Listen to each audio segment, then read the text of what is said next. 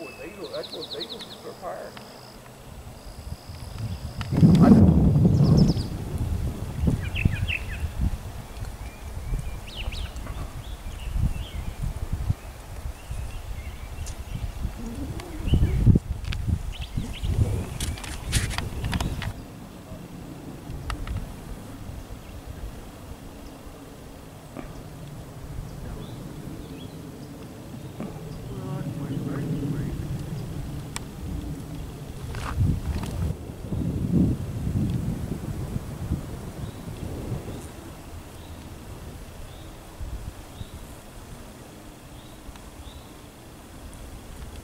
Mm-hmm.